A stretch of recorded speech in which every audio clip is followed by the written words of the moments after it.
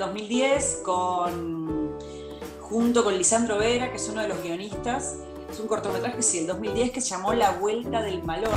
Ahora que es nuestra, ¿no nos corresponde tomar de ella todo lo que nos ofrece?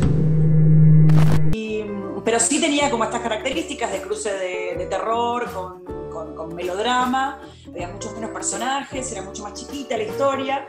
Y, y, la ida a la selva sí es cierto que fue como fortuita en algún punto, no es que dijimos ahora nos interesaría hablar de este lugar, como que llegó la selva y le adoptamos. No, la leyenda del Iguazú no existe, es un invento total.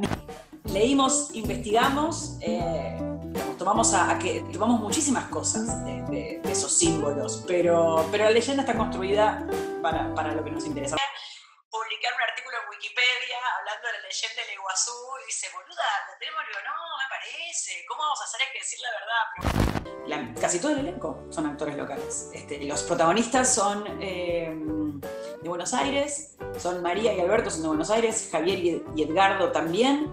Eh, los criollos, pero después eh, el resto del elenco es elenco misionero. ¿Pasó algo? Querida, ¿dónde vivís? Nos están robando el ganado y los mensues están escapando al monte. Si por mí fuera, prendo fuego a todos esos anarquistas que vienen de Buenos Aires a despabilar indios. Los dejan ahí como perros rabiosos. ¿Qué se creen que son? Si siempre fueron mansos el cine de género aparta muy asociado al cine norteamericano, entonces como que la vara realmente está alta.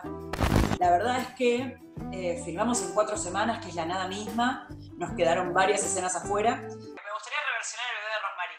Ah. Con todo. Sé, con todo, con todo. Inicialmente el guion estaba escrito de forma cronológica.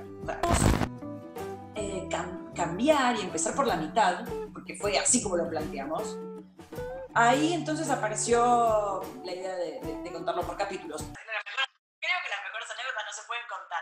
El otro día, no sé, filmar en la selva es una cosa loquísima, ¿viste? Vos te sentás, te sentás en un tronco así, perdón, tronco no, porque te puedes tocar nada, y estás mirando el monitor, mirás para allá y cuando volvés, una araña armó su casa todo alrededor del monitor, digamos, cuando estás trabajando.